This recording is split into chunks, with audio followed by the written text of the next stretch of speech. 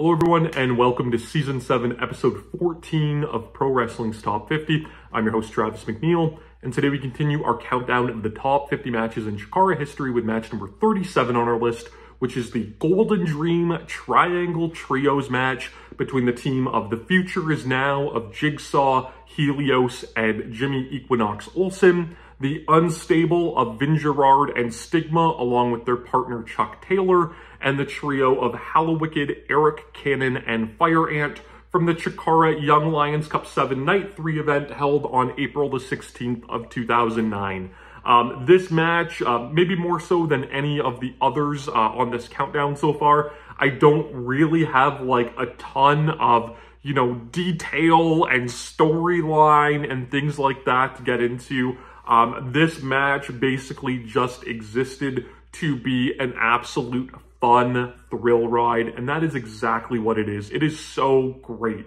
Uh, so the golden dream is a concept that Chikara would use, um, where it would basically take former champions um, and put them, you know, in various tag matches. Uh, the first one was held at the Negative Balance event in 2005 at the ECW Arena with the first four Young Lions Cup champions. Uh, it would be revisited a couple times, and at this point, this was the biggest one where Chikara basically did their version of a very famous Dragon Gate stipulation um, Dragon Gate in, I guess, it's probably 2003 when they were still Toryumon. Um, they did a very famous like triangle trios match like this. And then they actually upped it uh, a few weeks or a, a month later um, when they did like a four corners trios match that just, you know, if you've never seen that, watch it. It is some of the best, you know, intricate, crazy mile a minute wrestling that you will ever, ever see.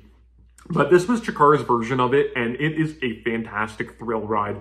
Um, so you basically have all but two of the former Young Lions Cup champions in this match up until this point. Uh, the two that were missing were the late Larry Sweeney, um, who at this point, you know, was not in Chikara um, you know, was battling a lot of personal demons, um, you know, and, and making like appearances in IWA Mid South and AAW, um, you know, going under his real name of Alex Whybrow that were, um, you know, a, a, little bizarre. I really don't know how else to, to phrase it. And, and you know, um, the, the man obviously had a, a lot going on at that point that I don't think, you know, a lot of people were too privy to, especially, you know, just general wrestling fans, not knowing these people in real life. So um, he was not involved in this match. And also uh, Canadian wrestler uh, Boyer from the IWS, uh, someone, again, you know, always near and dear to my heart. Um, he uh, defeated Arik Cannon to win the fourth iteration of the Young Lions Cup um, in late 2006. He was not a part of this match as well. He would make another appearance or two in Chikara, you know, after this time. Um, but again, he's kind of like the forgotten about Young Lions Cup champion because he was someone that, you know, really never kind of made it big. Uh, he mostly, you know, kind of toiled away in Canada. Chikara gave him that push. Uh, but he was in an era of, you know, one of those wrestlers that, you know, emulated Chris Benoit um, which, you know, obviously, you know, didn't really end up going too well. Um, but, you know, guys like Max Boyer and Josh Daniels and John Walters and, you know, those kind of like serious technical wrestlers that are very good, but, you know, just the independent wrestling landscape was really starting to shift and those wrestlers, you know, were no longer gripping the audience when you had, you know, colorful characters like in Chikara and high-flying wrestlers and, you know, just deathmatch wrestling and all of these, you know, great, you know, attractions that you could get on the indies. But to see, you know, two technical wrestlers go out and have a 20-minute match, you know, the crowd wasn't really reacting to it. So Boyer's kind of lost, you know, in the, the Chikara history books. Uh, but he was a Young Lions Cup champion and he was damn solid in the ring. And if, you know, we ever do the IWS on this show, which I feel like those ones won't get a lot of views, but, you know, it would be fun for me. You know, I'm sure we'll talk at length about uh, Super Style Maxime Boyer. Uh, but anyways, nine guys here. They all have some sort of history and they're connected, which is kind of fun. So Jigsaw, uh, Helios, who was Ricochet under a mask, Um, and uh, Jimmy Equinox Olsen, uh, they comprised an actual stable called The Future Is Now. Speaking of stables, we had The Unstable, which was Vin Gerard's group of, of guys that wanted to tear down Chikara, and he had the former Shane Storm, now going by Stigma, and they, you know, teamed with one of the most dastardly villains in all of Chikara in Sexy Chucky T. Chuck Taylor. And then we kind of had the wild card oddball trio of the guys that didn't really fit anywhere with the anarchist Arik Cannon, the first Young Lions Cup champion Hallowicked, and Fire Ant.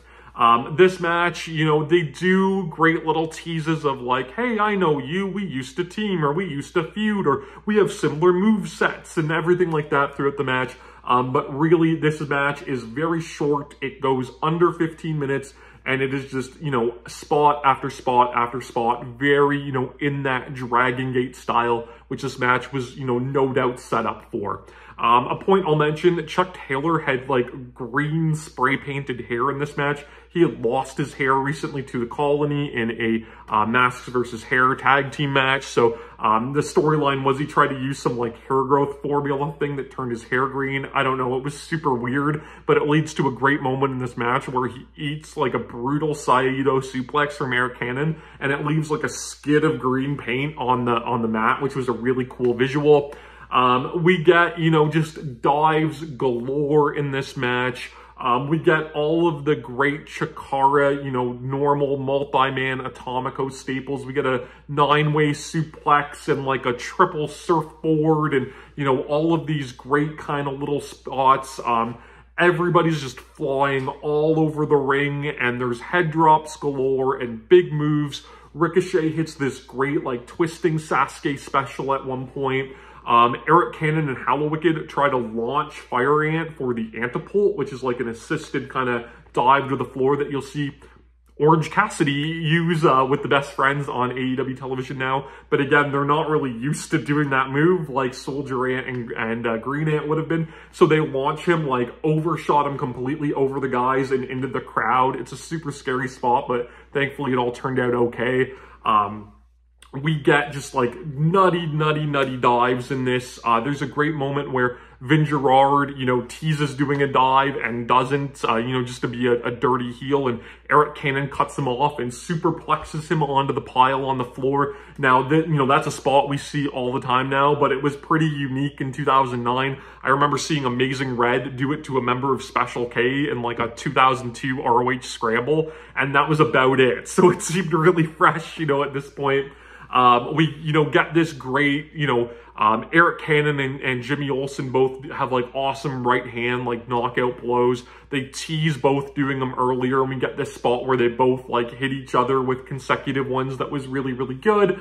Um, just head drops. I know I've mentioned this. Big moves. Ricochet does like a round off into a reverse Rana on Chuck Taylor. And that was before, you know, every match had a poison Rana in it. There's Omega drivers and there's everything that you could possibly want in this match as far as crazy moves are concerned. And it leads to this great, great, great finish where Hallowicked, the first ever Young Lions Cup champion, wins the match for his team using the move he used to win the first Young Lions Cup, this Super Fisherman's Buster, and he hits it on Stigma, the former Shane Storm, the former partner of Mr. Zero, which was the man that Hallowicked defeated to win the first Young Lions Cup with that move. So it was an awesome little cherry on the top to tie it into the Chikara history. Um, I love this match. It is an absolute, you know, mile a minute spot fest. They do the Dragon Gate corner running spots. It's a loving tribute to Dragon Gate between nine awesome performers that were really all at their peak in this time range. You can watch this match, of course, on independentwrestling.tv. You can subscribe to my channel here on YouTube so that you never miss a video. Follow me on Instagram and Twitter at Wrestling50. And please join me again next time as we continue to count down Pro Wrestling's Top 50.